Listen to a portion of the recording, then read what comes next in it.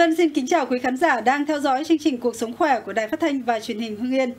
Trong chương trình hôm nay, câu chuyện y tế sẽ là lời khuyến cáo của bác sĩ về vấn đề giữ gìn sức khỏe trong thời tiết nắng nóng. Cuộc trao đổi giữa phóng viên của chương trình với bác sĩ nha khoa về nguyên nhân cũng như phương pháp điều trị răng mộng ngầm là nội dung trong mục hỏi đáp y tế. Mở đầu chương trình là mục sổ tay y học với hướng dẫn sơ cứu khi bị say nắng, say nóng và cách phòng tránh bệnh cường giáp. Sau đây sẽ là nội dung chi tiết, mời quý vị và các bạn cùng theo dõi.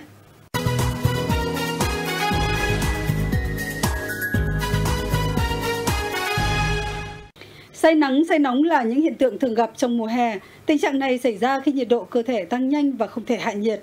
Say nắng, say nóng có thể gây ra những tổn thương cho não và các cơ quan quan trọng khác, thậm chí là đe dọa tính mạng nếu không được điều trị kịp thời. Ngay sau đây, bác sĩ Nguyễn Thị Loan, khoa nội, Bệnh viện Y Dược Cổ truyền Hưng Yên sẽ giới thiệu tới quý vị cách phân loại, xử trí và sơ cứu tình trạng say nắng nóng. Hôm nay thì tôi muốn chia sẻ với các quý vị ờ, khán giả ờ, về chủ đề say nắng, say nóng trong thời điểm hiện nay đang là vấn đề mà rất là nổi trội trong thời điểm hiện tại. Ờ, ai cũng có thể là ừ, bị say nắng, say nóng khi mà gặp cái nhiệt độ nó quá cao với cả so với sức chịu đựng của cơ thể bệnh nhân mà hay bị ờ, gặp cái trường hợp say nắng say nóng là những cái bệnh nhân mà hay phải tiếp xúc với với cái môi trường có nhiệt độ rất cao trong thời điểm tại. Thứ hai là bệnh nhân ờ, ra ngoài ờ, và không có bảo hộ chống nắng trong cái cái cái thời điểm nắng nó cao điểm nhất. Nhận biết ra cái dấu hiệu say nắng, say nóng thì dấu hiệu nhẹ thì bệnh nhân có thể đau đầu, hoa mắt chóng mặt, có thể là xây sẩm mặt mày, buồn nôn da khô, miệng khát nếu nặng thì bệnh nhân có thể là có ngất ờ, hôn mê và co giật. Đối với các trường hợp nhẹ thì mình di chuyển tới nơi dâm mát, thoáng gió, ờ, dây ấn huyệt nhân trung. Thứ hai là mình có thể dây ấn huyệt thập tuyên. Huyệt nhân trung thì nó nằm ở 1 phần 3 trên của rãnh nhân trung. Mình có thể dây ấn dưới 30 giây. Huyệt thập tuyên thì nó ở cái 10 đỉnh cao nhất của 10 đầu ngón tay. Mình có thể là ngón dây bấm dưới 30 giây và tay trái ấn tay phải có tác dụng giúp thức tỉnh và giải nhiệt. Đối với cái trường hợp nặng mà có hôn mê thì tốt nhất là nên đưa bệnh nhân tới nơi thoáng mát. Thứ hai là cởi bớt quần áo ra. Và thứ ba là cho bệnh nhân nếu như bệnh nhân còn tỉnh, nhận biết tốt thì có thể cho bệnh nhân uống chút nước và trường mát cho bệnh nhân ở các vùng như là cổ, lách và bẹn. Rồi sau đó gọi xe cấp cứu tới một cơ sở khám chữa bệnh gần nhất biện pháp để phòng tránh được uh, say nắng say nóng thì mình nên uh, lưu ý cái thời điểm mà từ 11 giờ cho đến 16 giờ hàng ngày là mình không nên ra ngoài đường. Còn nếu để bắt buộc phải ra ngoài đường thì trong cái thời điểm nắng nóng thì mình phải tốt nhất có những cái bảo hộ chống nắng như là um, áo chống nắng hoặc là kem chống nắng. Thứ ba đó là, là tránh thay đổi đột ngột uh, nhiệt độ từ trong phòng ra ngoài trời để cơ thể kịp thích ứng. Thứ tư đó là để bổ sung nước liên tục trong ngày. Khi mà cơ thể không có nhu cầu khác thì mình vẫn phải bổ sung. Ờ, để bù nước ờ, và điện giải trong ngày thì mình có thể dùng các cái nước ép hoặc là cái pha uh, nước pha từ chanh uh, hoặc là nước dừa nước dưa hấu uh, cả nước bột sắn. Đấy là những nước rất là tốt cho cơ thể và để bù nước và điện giải khá tốt trong cái thời điểm hôm nay. Cường giáp là tình trạng tuyến giáp tăng hoạt động sản xuất nhiều hormone giáp và tăng nồng độ hormone giáp trong máu. Nếu cường giáp không được phát hiện, điều trị và kiểm soát tốt, có thể sẽ dẫn đến nhiều biến chứng nguy hiểm cho người bệnh. Vậy đâu là những dấu hiệu nhận biết bệnh cường giáp? Làm gì để phòng tránh căn bệnh này? Để có lời giải đáp, xin mời quý vị và các bạn cùng theo dõi những chia sẻ của thạc sĩ bác sĩ Dương Thị La, Phó trưởng khoa thần kinh nội tiết Bệnh viện Đa khoa Phố Nối. Về cái dấu hiệu nhận biết của hội chứng cường giáp thì người ta chia làm ờ, các cái triệu chứng ờ, cường giáp, các cái triệu chứng biếu cổ và những cái triệu chứng ờ, khác ngoài tuyến giáp. Thì của triệu chứng cường giáp thì đầu tiên là triệu chứng toàn thân, người bệnh mệt mỏi, gầy rút cân, mặc dù là ăn nhiều. Cái thứ hai là những cái triệu chứng về tim mạch, người bệnh có những cái biểu hiện là hồi hộp chống ngực hoặc là những cái cơn tim nhanh. Một số người bệnh có biểu hiện ngoại tâm thu hoặc là loạn nhịp hoàn toàn, biểu hiện là rung nhĩ hoặc cuồng nhĩ thì hay gặp ở người lớn tuổi. Huyết áp tâm thu thì tăng nhẹ. Ở một số người bệnh cường giáp thì có biểu hiện của khó thở hoặc là suy tim. Thứ ba là về các cái triệu chứng của thần kinh cơ thì người bệnh có biểu hiện là giảm tập trung, dễ bị kích động, có tăng phản xạ gân xương, có biểu hiện là run, nhất là khi xúc động. Ờ, một số bệnh nhân ờ, là nam giới bị ba giờ đô thường có cái biểu hiện liệt chi đột ngột về đêm là do hạ kali máu. Ờ, về triệu chứng của tiêu hóa thì người bệnh có biểu hiện hay đói, cảm giác thèm ăn và một cái rối loạn đại tiện phân nát kéo dài nhưng mà không phải là phân lỏng. Về những cái triệu chứng của vận mạch thì người bệnh có biểu hiện sợ nóng, tăng thân nhiệt, ờ, có cảm giác là ngây ngấy sốt hoặc là một cái biểu hiện nữa là tăng tiết mồ hôi. Ờ, đặc trưng của những bệnh nhân ờ, Bazodo là bàn tay nóng ẩm và có biểu hiện là khát nước, uống nhiều. Về triệu chứng của tiết niệu sinh dục thì à, người bệnh thường có biểu hiện là đái nhiều về đêm. Ở trẻ em thì có hiện tượng đái dầm. Về nam giới thì có thể gặp vú to hoặc là rối loạn về cái khả năng tình dục, rối loạn cương dương.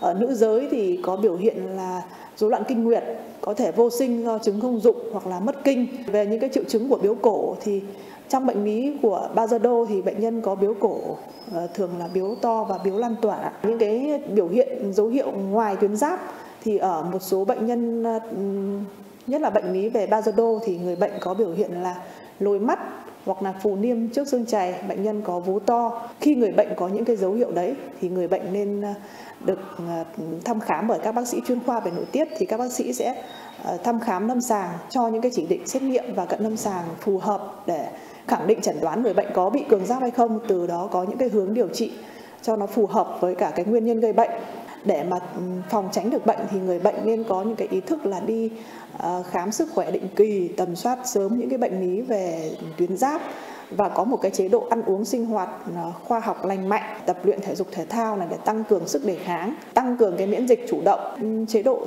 ăn thì phải bổ sung cái lượng iốt đầy đủ, nhất là một số cái đối tượng mà đặc biệt như là phụ nữ có thai hoặc phụ nữ ở trong cái độ tuổi sinh đẻ. Tránh những cái thức ăn mà chế biến sẵn này hoặc là có nhiều dầu, nhiều mỡ. Còn à, khi mà người bệnh đã được chẩn đoán là bệnh lý cường giáp rồi thì hạn chế những cái thực phẩm mà có Ờ, khả năng làm trầm trọng thêm bệnh ví dụ như là những cái thực phẩm có chứa iốt rong biển tảo biển hoặc là một số đồ hải sản. Với những cái phụ nữ mà trên 20 tuổi ấy, thì mình nên tầm soát hàng năm cái bệnh lý về tuyến giáp. Bởi vì giai đoạn đầu của bệnh thì cái triệu chứng nó chưa rõ ràng. Khi mà được tầm soát thì có thể các bác sĩ sẽ phát hiện những cái bệnh ở giai đoạn sớm giai đoạn đầu để điều trị nó có sẽ hiệu hiệu quả hơn và tránh được những cái biến chứng mà mà mà không mong muốn.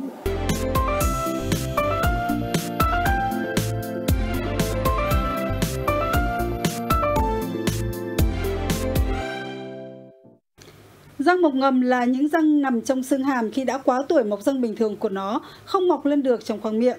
Trường hợp răng vĩnh viễn mọc ngầm có thể gây ra nhiều biến chứng nếu không được điều trị kịp thời. Vậy nguyên nhân, biểu hiện và cách điều trị răng mọc ngầm như thế nào? Mời quý vị và các bạn cùng gặp gỡ với thạc sĩ bác sĩ răng hàm mặt Nguyễn Thành Trung của Trung tâm Y tế thành phố Hưng Yên để tìm hiểu ngay sau đây. Xin chào bác sĩ, trước hết cảm ơn bác sĩ đã tham gia cuộc trò chuyện của chúng tôi ngày hôm nay. À, xin hỏi bác sĩ, răng mọc ngầm là răng như thế nào? Răng mọc ngầm là những răng mà bị kẹt ở trong xương hoặc là không thể xuyên qua níu nhô ra ngoài, nghĩa là bên ngoài sẽ không nhìn thấy răng mọc ngầm xuất hiện trên khung hàm. Vậy xin hỏi bác sĩ nguyên nhân nào gây ra tình trạng răng mọc ngầm ạ? Tế thì trong quá trình ờ, mọc răng vĩnh viễn ý, thì bất cứ hầu như cái răng nào cũng có thể là có cái hiện tượng mọc ngầm.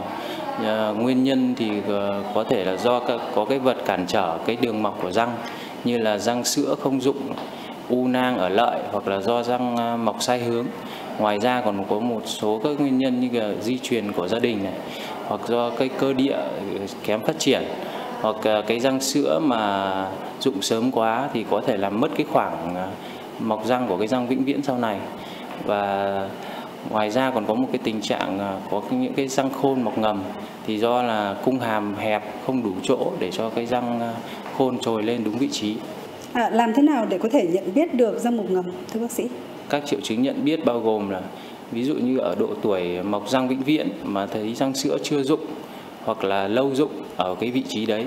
Khi sờ vào miệng thấy vùng ờ, cứng như ở vùng uh, xương ổ răng tương ứng của cái răng đấy, răng đấy nó bị nhô lên hoặc là xuất hiện triệu chứng vùng lợi bị trồi lên bất thường, đau nhức và ê buốt cả vùng răng xung quanh mọc ngầm biến chứng của răng mọc ngầm là như thế nào và cách điều trị hiện nay ra sao thưa bác sĩ?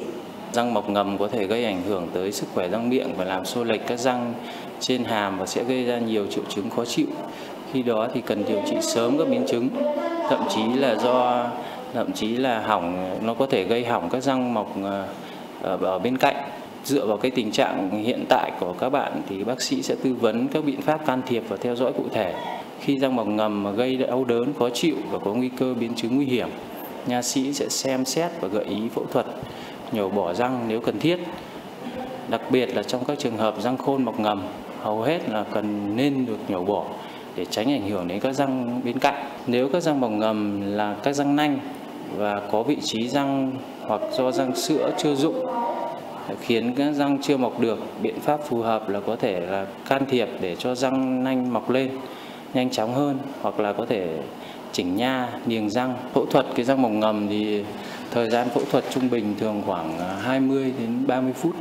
Và nếu mà uh, sức khỏe của bệnh nhân tốt ổn định thì sau khi phẫu thuật thì bệnh nhân có thể hoàn toàn là ăn uống ờ, sinh hoạt gần như bình thường. Sẽ mất khoảng 1 đến 2 tuần đầu là nó hơi khó chịu một chút thôi. À, một lần nữa xin được cảm ơn bác sĩ về những thông tin hữu ích vừa rồi.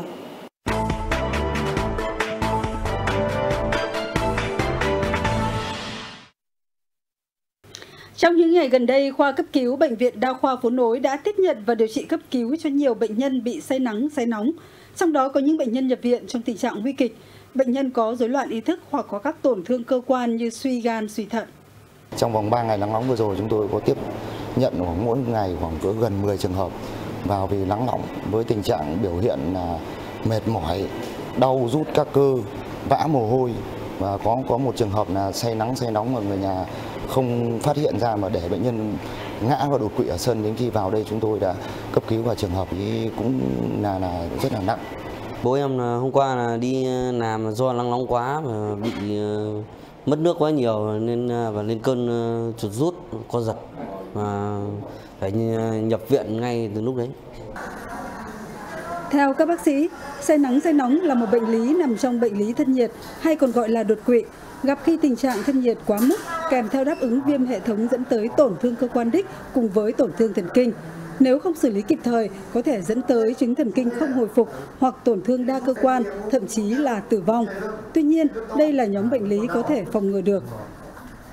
Với những cái bệnh nhân làm trong môi trường nắng nóng thì đầu tiên là trong cái thời tiết nắng nóng và nhất là buổi ban trưa thì nên tránh làm việc được là tốt nhất. Còn nếu mà bắt buộc phải làm việc ở trong môi trường nắng nóng thì mình cố gắng là bảo ờ, bảo hộ ờ, tốt hơn ví dụ như đội mũ uh, mặc đồ bảo hộ tránh nóng và khi đã có những cái biểu hiện mệt mỏi thì phải vào môi trường mát nghỉ ngơi uh, uh, uống nước và uh, đủ để cho nó tránh cái tình trạng nó nặng nề hơn. Thời tiết nắng nóng theo dự báo sẽ còn nhiều đợt nữa đe dọa sức khỏe của người dân, đặc biệt là những người phải lao động trực tiếp ngoài trời. Thời tiết cũng 39 40 độ thì nói chung là chúng tôi tranh thủ làm sớm tối và có làm có là trong tinh thần là cố gắng. Trước tình hình như vậy, Trung tâm Kiểm soát Bệnh tật tỉnh Hưng Yên đã đưa ra những lời khuyên để người dân có những kiến thức cơ bản, chủ động phát hiện và thực hiện các biện pháp phòng chống, xử trí một số vấn đề sức khỏe thường gặp trong mùa nắng nóng. Trong mùa nắng nóng này thì sẽ hạn chế đi ra ngoài. Nếu mà đi ra ngoài trời thì chúng ta phải chuẩn bị đầy đủ như là nón, mũ, khẩu trang. Đối với những người phải làm việc trong cái môi trường nắng nóng thì chúng ta à, hạn chế những cái vấn đề về để ánh nắng nó chiếu trực tiếp vào cái cơ thể mình, không nên sử dụng các cái loại đồ uống có cồn. Để phòng tránh bệnh vào mùa nắng nóng, người cao tuổi nên hạn chế đi ra ngoài khi nền nhiệt độ lên cao, không đi dưới trời nắng lâu. Nếu phải làm việc ngoài trời thì nên chia nhỏ thời gian ngắn khoảng 30 đến 45 phút, có thời gian nghỉ kết quãng. Trong quá trình làm việc dưới nhiệt độ nắng nóng, phải che kín, đặc biệt là vùng cổ gáy. Khi vừa đi nắng về, thời điểm cơ thể tiết ra nhiều mồ hôi, nhiệt độ cơ thể cao, không nên tắm ngay để đề phòng đột quỵ. Chương trình hôm nay xin được khép lại tại đây. Cảm ơn sự quan tâm theo dõi của quý vị và các bạn.